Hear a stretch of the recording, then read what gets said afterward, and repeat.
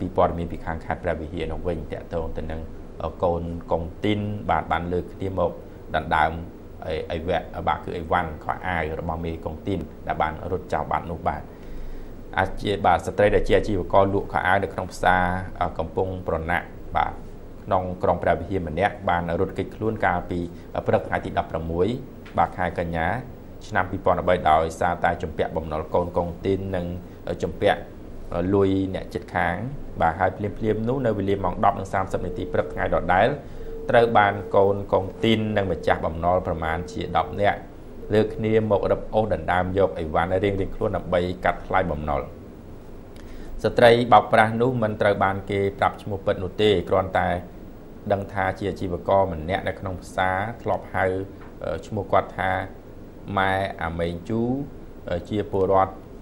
ចំណូលថ្មីរស់នៅផ្ទះជួលក្នុងក្រុងព្រះវិហារហើយគាត់បានជួលតោពីអ្នកដតីដើម្បីបើកលក់ដូរខោអាវដោយមើលទៅស្ត្រីម្នាក់នេះហាក់ដូចជាមានធនធានម្នាក់ផងដែរការដែលគាត់មានមុខរបរត្រឹមត្រូវរបៀបនេះទើបកូនកុងទីននៅក្នុងផ្សារទុកចិត្តគាត់ឲ្យធ្វើជាមេកុងទីន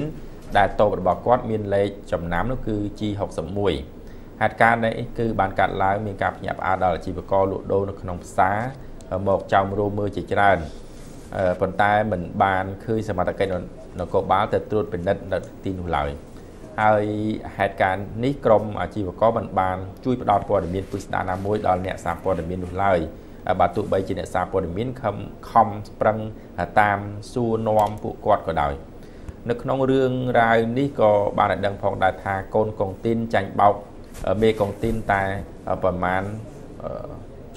ចំពោះទំហំទឹកប្រាក់កុងទីននោះមានចំនួនប៉ុន្មាននោះมันបានដឹងនៅឡើយទេលោកគំសៀមដែលជាអធិការនគរបាល